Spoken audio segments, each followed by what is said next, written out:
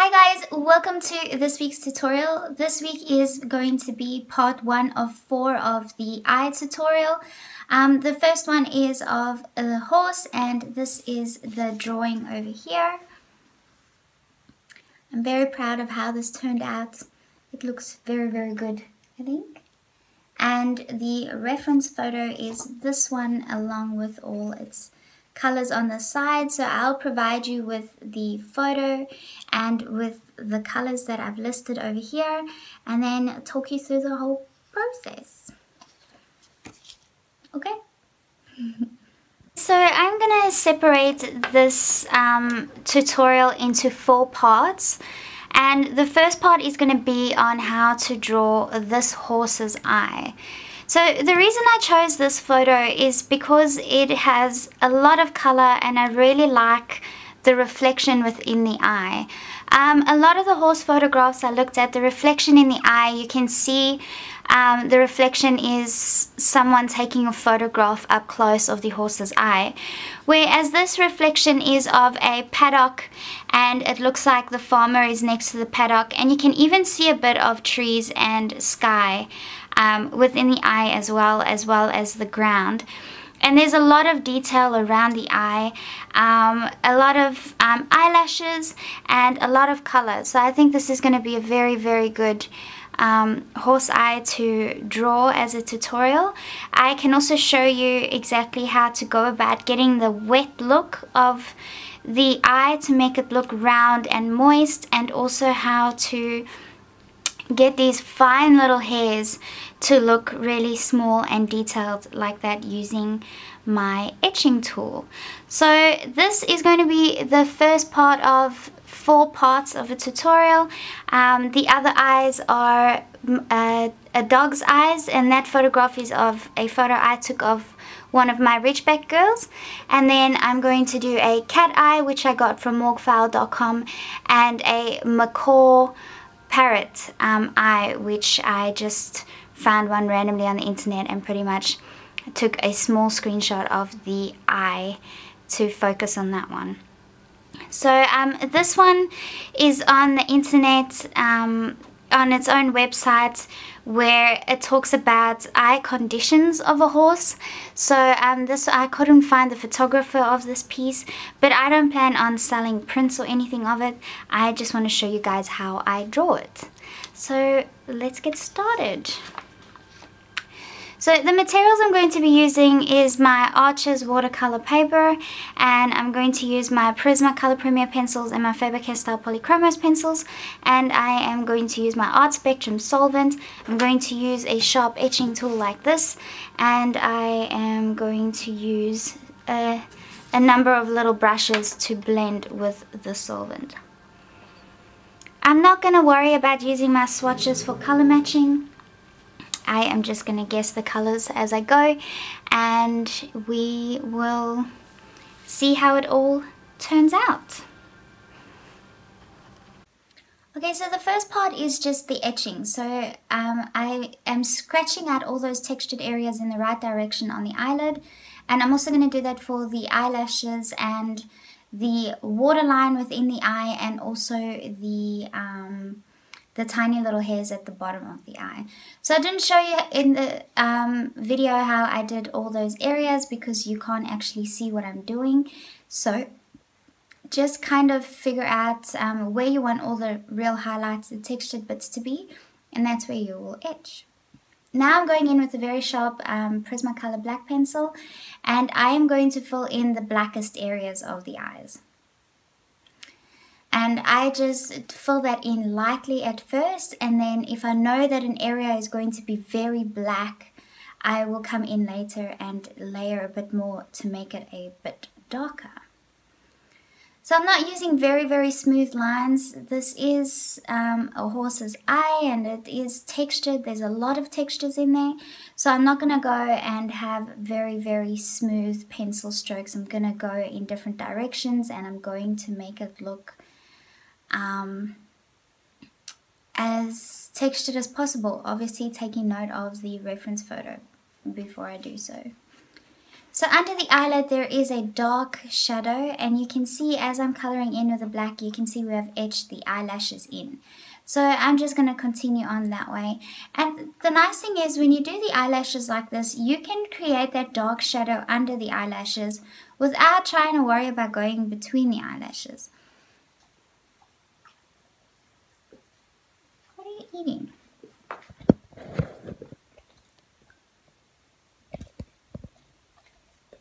What are you eating? These puppies, they're always eating something. Okay? What are you eating, Bobby?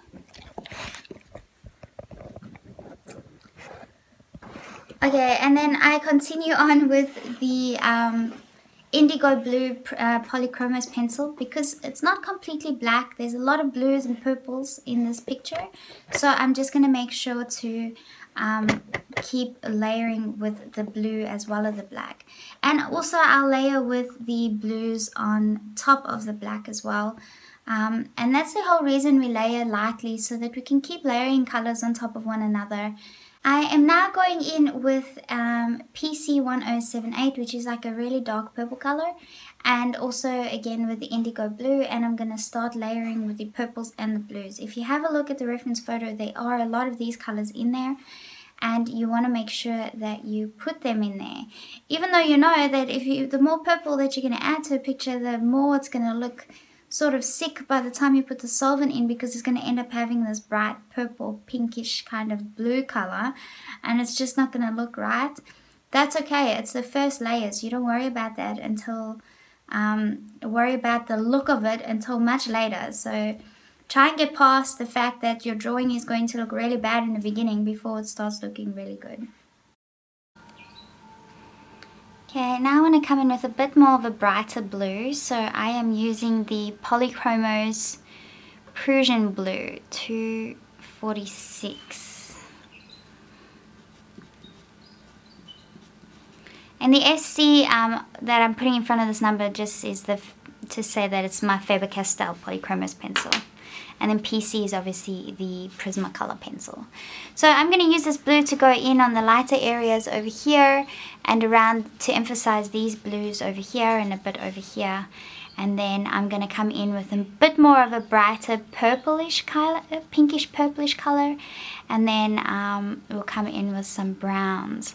And then this the um, paddock will come in with whites and greys and then we'll probably be ready to blend with the solvent for the first first few layers. Okay, so I am using that blue FC246 and I am trying to emphasize the blues around the eye um, as much as I can. So looking at the reference photo, you can see that those areas are a lot bluer than the other areas. And now I'm going to come in with my FC193 pencil and add a bit of those pinkish colors. And then um, the black I use again for the shadowed areas and it is going to get to a point now where I probably won't men mention all the colors I'm using but I will have a final list for you guys at the end because I'm just going to be jumping around so many colors that it does make it a little bit tricky to um, mention all of them. But this one is FC193, which is my Polychromos, um, Faber-Castell Polychromos pencil. Because now that I've added the pinks, I want to add some of the more browner colors. So this is um, the Polychromos 187 pencil and this is the Prismacolor 1019 pencil. So I am just going to give you the list of all the colors that I used in the end because it is going to be hard because of all the swaps in this time lapse. So using my white um, Luminance pencil, so you can use your Prismacolor white um, as well if you have one or the Caran d'Ache Luminance white. I put in the white areas of the fence first because by pressing down with the wax white base pencil first, it makes it more difficult for other colors to go over the top real easy and that will at least keep it light and keep the areas nicely shaded. So now I'm going in between the paddock areas which are going to be a representation that there is something else behind it and it's going to give that image more of a three-dimensional look and you're going to see that there's a lot of perspective. So now we're getting towards the fun part where we're going to start getting ready to put our first layer of solvent over the image. Um, but I'm just coming in and using a grey pencil to kind of fill in some of the rest of the areas. Now, usually before I put a solvent down, I do want to get um, a good bottom layer done before I put the solvent down um, so that there's a lot of colors to put together instead of wasting solvent um, or wasting blending a layer if there aren't that many colors down. So um, try and layer as much as you can first before you get to the point of putting the solvent down. So I thought that in this section I needed to emphasize some of the purple areas within the eyelid and the more shadowed areas just to make it even darker and predominant because the layers were so, um, the values weren't as emphasized just before this step.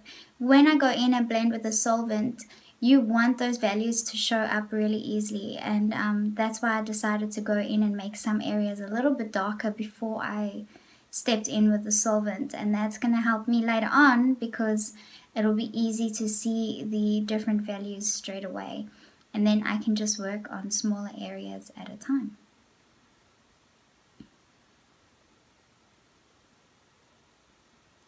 So that's the look of it. Before the solvent's down, it looks very much like a crayon. It just looks soft and crayon and textured and it's that's okay. That's normal. Before the solvent comes in that's that's a normal look for your drawing to have. You don't have to put pressure or anything down. And now that we're putting the solvent down you're to see that the color is to pop right out. Now I have so little solvent on my brush and I don't know if that's what some some of you are struggling with because I've had two of my patrons say that they just cannot get get it right with the solvent. And I'm thinking that maybe you have too much on your brushes because I have so little solvent on my brush that I feel like I have to force my brush down quite firmly for the solvent to even come off. Whatever. When you tap it on your hand, it should still pretty much feel dry. You shouldn't, it shouldn't feel wet at all. It should be close to being dry. That's how little solvent you have on your brush.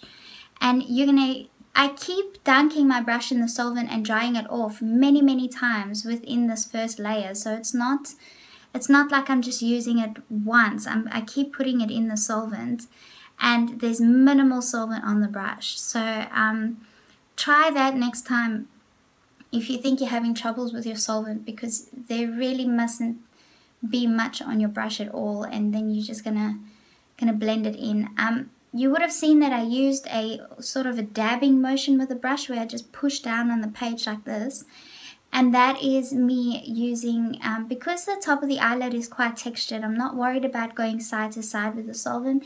And also, um, I use the etching tool there, so I don't really want too much of the solvent to go into those indents that I created using the etching tool. So I just dab straight from the top, and because it's pretty much mostly dry, um, it's not going to affect it too much, and that texture is going to remain, and it's going to stay sort of highlighted.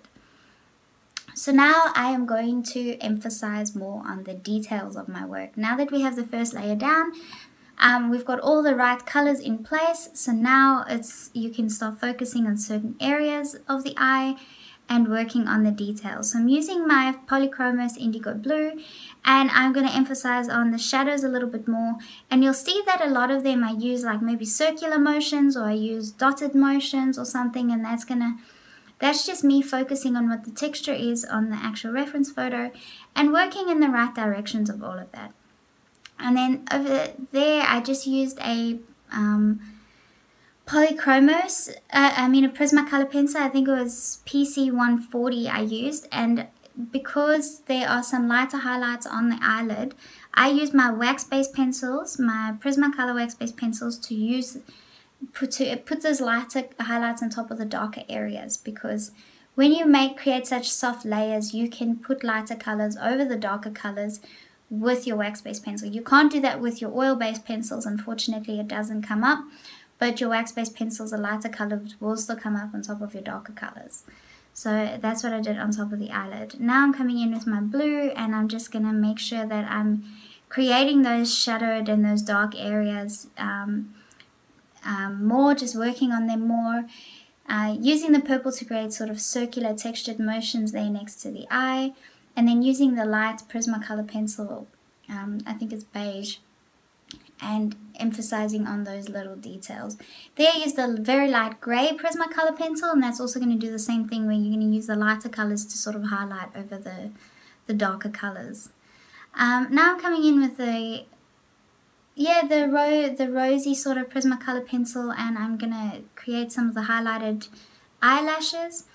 Not many of these eyelashes are actually white so I'm gonna try and cover all those eyelashes so that none of them are white and that is only the real light blues or purples or pinks that I use to create the highlights areas on top of the eyelashes. Um, because yes it's there isn't much white. So using a blue inside the eye, now I'm, I'm going to focus a lot on the inside of the eye and take note of my reference photo because um, it's just a bunch of little shapes. There's nothing very difficult about doing the inside of the eye. You kind of have to forget that you're drawing an eye and just focus on the shapes that you're working with. And everything ends up working out pretty good because you're not focusing on getting you're not focusing on the fact that there seems to be a human in the reflection of that eye. So you want to get it to look like a human because if you actually focus on the shape and the values of that um, that part that you assume is a human within the eye, um, it doesn't look anything like it. It just looks a couple like a couple of blurry sort of spots in an area, um, which is just giving us the illusion that that is what it is. And all you have to do is focus on the fact that it's just shapes. That's all it is, it's just shapes. And with the eye, the whole, the whole time I was drawing this eye, I wasn't focused on the fact that I was drawing an eye. I just kept looking at the shapes and the textures and, and focusing on that. And it all works out in the end. If you just focus on the real small parts of things, everything just works together in the end because you're not having your brain try and um, confuse you by telling you that that's not how an eye is supposed to look. Because when you're developing an artwork, in the beginning it's going to look so bad because you, you've got no details in there yet. You don't have all the right colors in there yet. Um, you probably can't tell what it is yet. And that's when your brain tries to confuse you and like, oh no, you're screwing this up. It doesn't look right.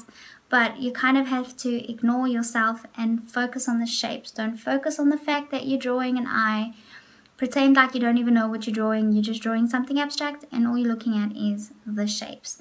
And in the end, it just all works out nicely. So I just went to blend very gently with the solvent again. Again, I hardly had anything on my brush. And now that that's smoothed out a little bit more, I can use my lighter pencils and emphasize the highlights even further. So yeah, I've got a very light cool Prismacolor grey and I'm sort of working little scribbles over here and that's going to create those textures next to the eye, the highlighted textures right there. And it's going to make it look very three-dimensional and sort of coarse looking. And then I'm going to also do that on top of the eyelid and create some of those highlighted eyelashes over there because like I said, none of the eyelashes are actually white. So also going and creating more of a texture under the eyelid because there's a few highlighted pieces over there. There is some blue in the waterline and I just added that over there. I'm using my black to make the darks um, even darker within the eye over there and that's going to give it a more three-dimensional look, bringing the lighter colors to the front and the darker colors to the back.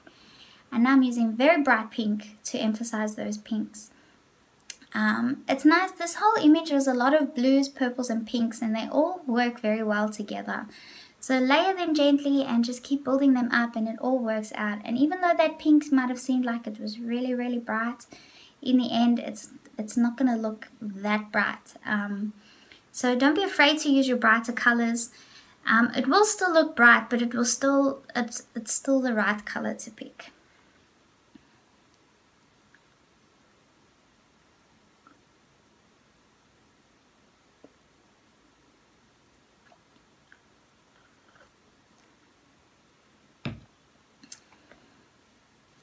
Can hear the birdies chirp. It sounds so nice. We've got such nice weather today. It's overcast and it's been drizzling and it's just been so nice to be able to get cozy inside the house. Like we've had a super super hot summer so having a little bit of a cool day is heaven. okay so adding more purples into the eyelashes and into the background. There's a lot of um, sort of reddish colors in there but I need to remember that the reds are more towards the pink side than they are towards the brown side so just keep that in mind as well. Um, I always, if I need to make an area lighter, like the sky was quite blue, but I needed it to be uh, just a bit lighter, then I would use my wax base white pencil and go over it just to make those areas even lighter.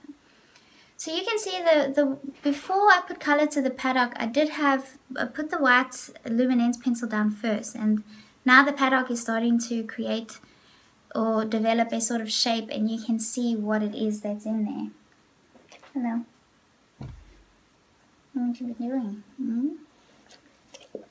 Hmm? No, that's mine. Thank you. So, my big poofy dogs always have to be nosy. Excuse me. Now I am emphasizing more of the blues, so constant building up of layers and colors. So um, I didn't actually use that many colors in this. I think I'm not going to count it. Actually, I used a lot of colors. I mean, it's just an eye that I drew, but there were, are a lot of colors in there. But keep building them up. Keep taking note of your reference. Now, one thing I did notice, like even though I tried to keep to as many of the same colors as I possibly could, what the reference photo that I printed. Okay, I'm using a white Gelly Roll pen now as a final to create those really, really white highlights. And that's going to make the waterline look very watery. And that's also what I use to sign my name on the bottom right corner. And then that is pretty much the end result. So this tutorial, uh, or this part of the tutorial of the horse's eye, will be available to my YouTube subscribers as well as my patrons. Um, but only this part of the tutorial will be available to my YouTube subscribers. Um, the other three eyes, the cat, the dog, and the macaw, they will um, be strictly for my supporters on Patreon. But the reason I'm putting this horse eye tutorial on my YouTube channel is because one of the first tutorials that I did was of how to draw a horse's eye and I think that this is a much better updated version and obviously it's a little less embarrassing to watch compared to my first video um, but I noticed that a lot of people are still viewing that video so I want to be able to give my YouTube subscribers the updated version of how to draw a horse's eye as well um, so that is available for YouTube and for Patreon. But patrons, the next video coming up will be on how to draw a cat eye and that will be part 2 and then part 3 will be the macaw and part 4 will be the eye of one of my Ridgeback girls, Honey.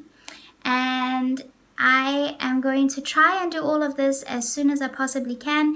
I do hope that you bear with me. We are in the process of selling our house and looking for another house on the East Coast and I'm trying to finish an airbrush course as quick as I possibly can so a lot of time has been going into airbrushing so I know I've been delayed in my tutorials but I will not I might be delayed but I'm not gonna not do them so they will all be coming up so thank you for your patience and um, everything will still happen maybe not on the specific date that I try to schedule it in for but it will be happening so I thank you guys so much for watching and for um, all your patience and I will see you guys soon.